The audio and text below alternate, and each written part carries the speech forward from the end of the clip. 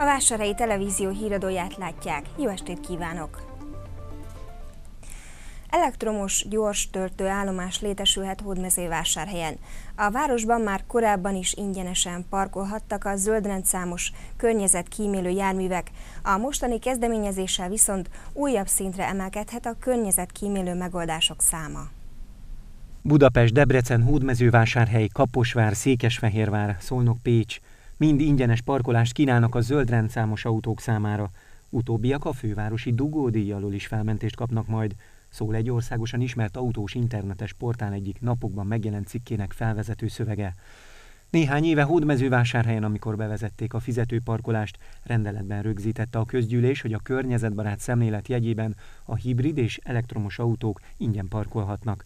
Hegedű Zoltán alpolgármester új javaslattal bővíteni a kezdeményezést, amelybe bevonná a zöld számos környezetbarát jelzésű autókat. Lényegében eddig is ingyenesen parkolhattak, azonban azt gondolom, hogy ezzel az ellenőrzésük sokkal könnyebbé válik, hiszen a parkolőr rátekint a rendszámra, ha ez egy gépjárművön zöld rendszám van, akkor nem is kell nézni, hogy váltott a jegyet, hiszen ingyenesen parkolt Hódmezővásárhelyen. Vásárhely földrajzi fekvéséből és adottságaiból adódóan kimondottan jó levegővel rendelkezik. Bizonyos nyári poros időszakokat leszámítva kiváló minőségű a légtér Hódmezővásárhely felett. Azonban a benzines gépjárművek száma jelentősen megnőtt az utóbbi időben.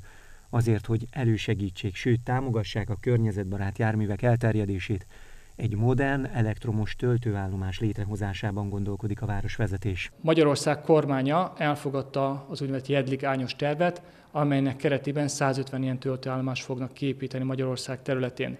Jelen pillanatban a Délalföldön nincs még ilyen töltőállomás, és én arra tettem javaslatot, hogy polgármester úr keresse meg a Nemzetgazdasági Minisztériumot, hogy ebből a 150-ből egy töltőállomás itt Hódmezővásárhelyen valósuljon meg. Az elektromobilitásnak, vagyis az elektromos járművek elterjedésének egyik kulcsa, hogy legyen kiépített gyors töltőállomás. Egy ilyen jármű otthoni feltöltése 8-9 órát vesz igénybe, azonban a technológiával akár 20 perc alatt is 80%-os töltöttség érhető el. A kormány célja, hogy az elektromos járművek számát tekintve néhány éven belül hazánk Közép-Európa élvonalába kerüljön. Enyhültek az új kishomoki kedvezményes telkek igénylésének feltételei. A pályázatok számától függően több könnyítésre is lehetőséget nyújt az önkormányzat. 35 évnél fiatalabb hódmezővásárhelyi házaspárok. Így szóltak a feltételei a kedvezményes telek igénylésének. Azonban az önkormányzat a legutóbbi közgyűlésen kiterjesztette a pályázati feltételeket. Ha olyan házaspár fog jelentkezni, akik már betöltötték akár a 40 évet, ez ne tartsa őket vissza a jelentkezéstől, mert attól függően, hogy hányan adják be az igénylésüket, el lehet térni ezektől a határoktól tulajdonképpen. A szóban forgó területeket új kis homokon jelölték ki. A 19 építési telekhez darabonként most 1 millió forintért lehet hozzájutni. Annyi különbség van az eddig ingyentelkekkel kapcsolatban, hogy ez egy nem közművesített terület, tehát ezt a területet még közművesítenie kell a városnak, aminek a költsége közel 60 millió forint lesz. És úgy gondoltuk, hogy az lenne a méltányos, hogyha valamennyit azért a újdonsült háztulajdonosok is most beleadnának ebbe, és 1 millió forintot szeretnénk majd kérni ezekért a területekért. A képviselő mindehez azt is hozzátette, jelenleg 5-6 komolyabb érdeklődő van, akik emellett a csokot is megpályázták. Cseri Tamás szerint ez egy logikus lépés, hiszen ilyen kedvező lehetőségen nem nagyon volt a pároknak az utóbbi néhány évtizedben. Megkezdődtek az önkormányzati lakások építési munkálatai Maroslelén. A 130 millió forintos, 100%-os támogatottságú programból 7 új lakás épülhet. Az elmúlt évben döntöttek a Maroslele jövője programról, amelyben két fő irányt határoztak meg. Az első csomagban az önkormányzati beruházások szerepelnek, a második program csomagja pedig az Otthon Maroslelén nevet viseli. Az utóbbiba tartozik bele az önkormányzati lakások építése. Itt vagyunk, ugye az egyik nagy beruházásunknak a kezdeténél, ez egy hétlakásos önkormányzati társasház építése. Erre azért van szükség, részben szeretnénk jobb körülményeket biztosítani azoknak a családoknak, akik jelenleg albérletben élnek, vagy éppen a szüleikkel élnek együtt. Szeretnénk minőségi, színvonalas, színvonalas és minőségi lakásokat biztosítani. A beruházás összege 130 millió forint és 100%-os állami támogatással valósulhat meg. A lakások átadásának ideje november 30-a. A polgármester hozzátette, hogy vannak már jelentkezők a lakásokra, és jó ütemben halad az építkezés.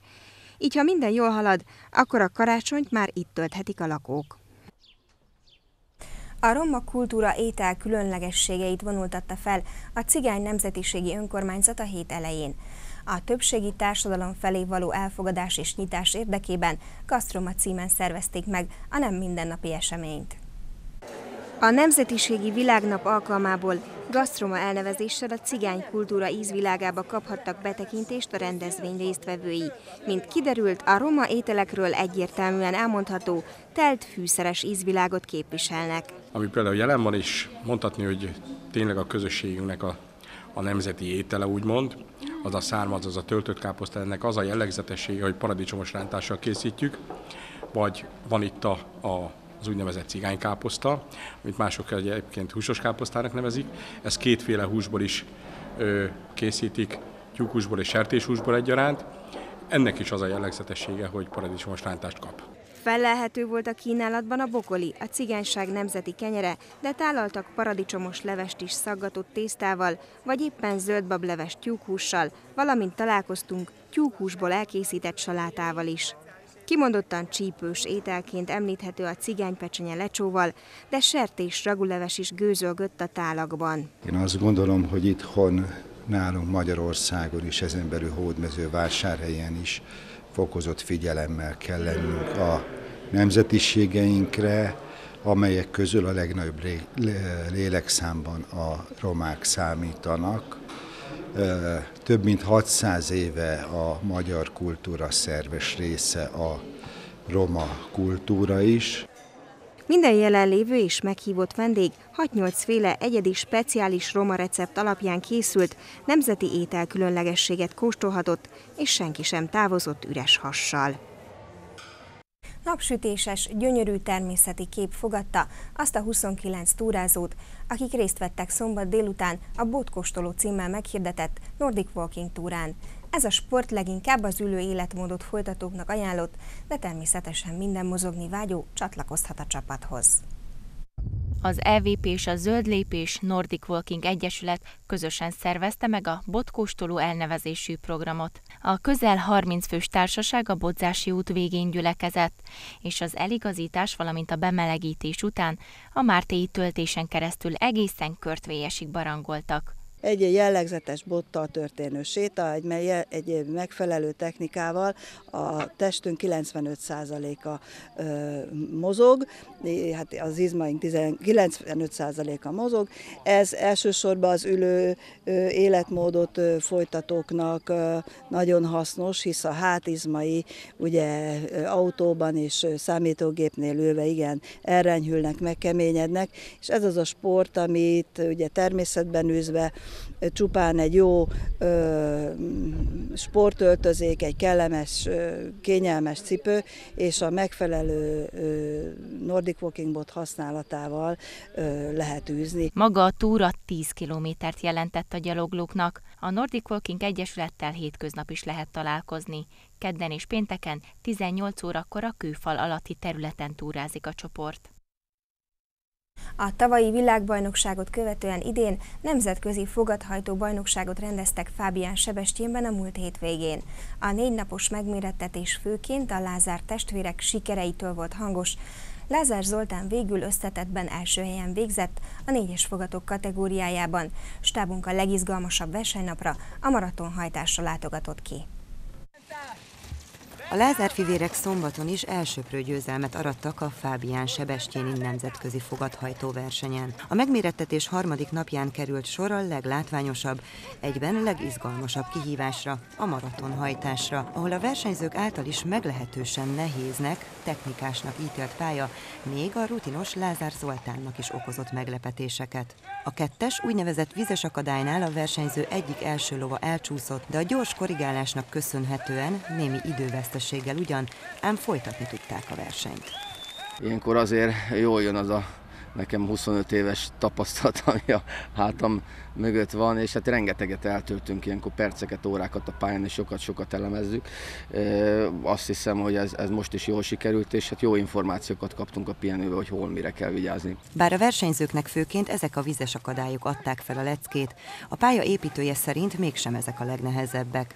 A maratonpálya bemelegítő szakasza mintegy 6 kilométer, majd ezt követően jönnek az akadályok. Ezúttal 8 ilyen pontot kellett jól teljesíteniük a hajtóknak. Van például itt az ötös akadály, ami a kis csoportban van eljedve, ott olyan szűk fordulatok vannak, be, vannak amiket, hogyha nagyon jó a hajtó, és nagyon jók a lovak, akkor nagyon nehéz útvonalon tud megoldani. A szombati versenynapon az egyes fogatok maratonhajtás versenyszámát Kovács Imre nyerte, megelőzve a legjobb magyar maratonhajtó Kecskeméti Lászlót, és a szintén magyar Nyúl Katalint. A kettes fogatok mezőnyében ismét Lázár Vilmos bizonyult a legjobbnak, őt Galambos Nándor követte, majd a harmadik helyen Pap János végzett. A négyes fogatok versenyében a szombati versenynapon is Lázár Zoltán nyert, de a második és harmadik helyet is magyar hajtók szerezték meg a maratonhajtás versenyszámban. Most Dobrovic József végzett a második helyen, a harmadik ifjabb Dobrovic József lett. Kedves nézőink, a híradó végéhez értünk. Munkatársaim nevében is köszönöm megtisztelő figyelmüket, legyen szép estéjük, viszontlátásra!